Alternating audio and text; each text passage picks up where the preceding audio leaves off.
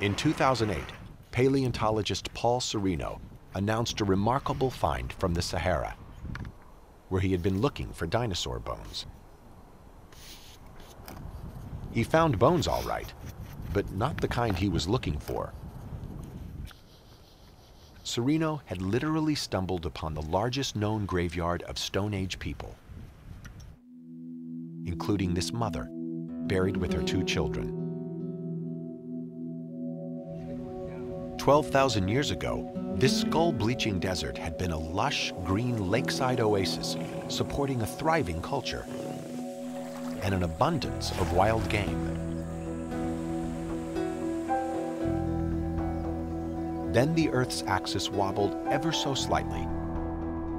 The climate changed, the desert spread, and the culture died. Today, it is mainly human activity that causes the African deserts to spread. Overgrazing, slash and burn agriculture, deforestation, and overuse of groundwater are exacerbating climate change.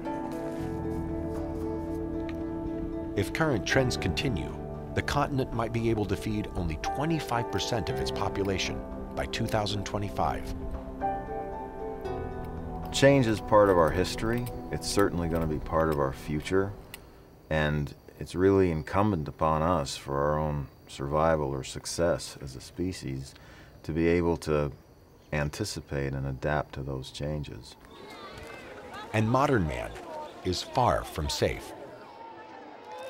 Millions of the world's poorest populations in 2008 suffered severe food shortages as crops failed and food prices spiked.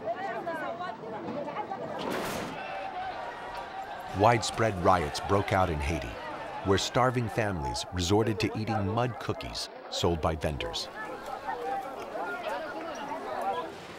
The U.S. produces a large percentage of the corn that is consumed not just here locally but worldwide. Excessive drought, excessive rainfall, any of those factors that, that reduce your yields will then have an influence on that particular sector of the economy, which then has a ripple effect on, on other parts of the agricultural economy as well and an insidious new threat to the world's food supply is on the rise, a potentially disastrous disease.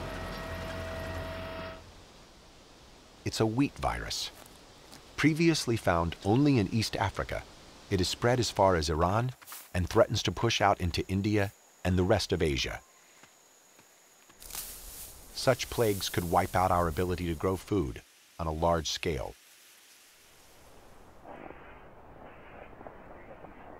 It is with this in mind that scientists in Norway last year completed a new safeguard, the Doomsday Seed Vault. Buried deep into the side of an Arctic mountain, the new vault will house copies of seeds from all known varieties of food crops, keeping them in case they are needed to save a starving planet.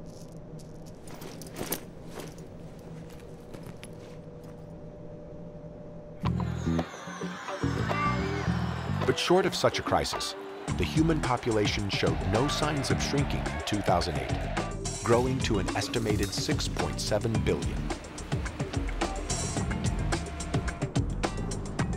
Fortunately, human ingenuity is showing signs of expanding as quickly as our numbers. And in 2008, many of our greatest breakthroughs came as we grappled with ways to limit our impact on our Earth and survive.